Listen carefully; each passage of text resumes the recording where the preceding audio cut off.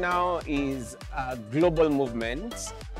We can just, first of all, all come together, you know, as a global community of young people, a billion plus young people, to really call for their rights, to really call for the agents, uh, for the urgency of the needs that they need met now, to really call for the resources that need to be in the hands of young people.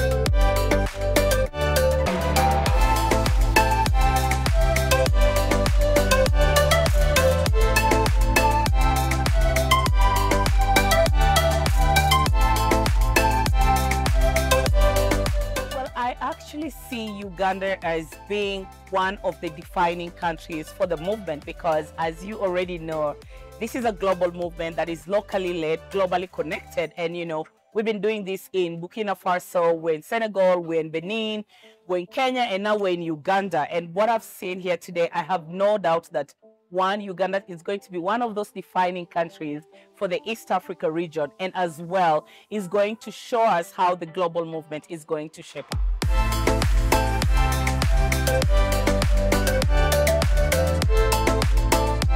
I am overwhelmed. It has been so amazing. It has been two days of training and telling us more about the BNN.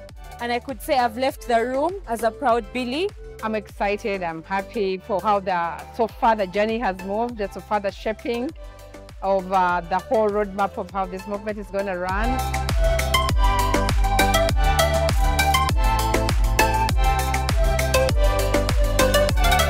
My final remarks, as well as a call to action, especially for young people, is believe in yourself. You are brave, you are bold, you are resilient, you are aspiring, you are um, engaging, and because you are all of those things, I would say your time is not now, but your time is now now.